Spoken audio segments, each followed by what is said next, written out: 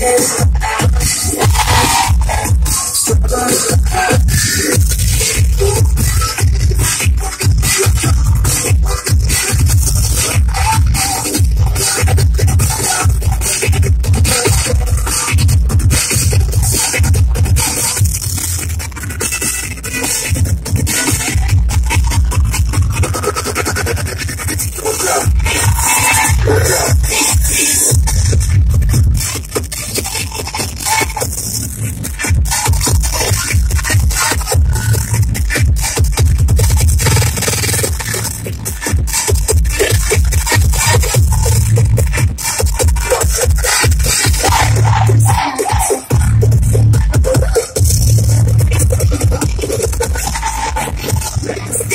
This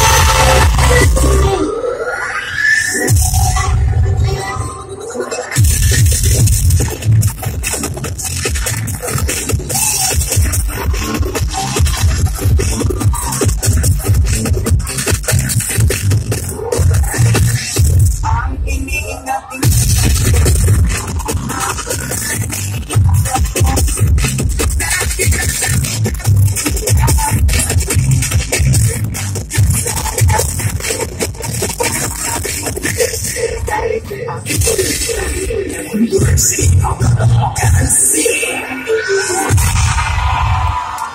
you have it, first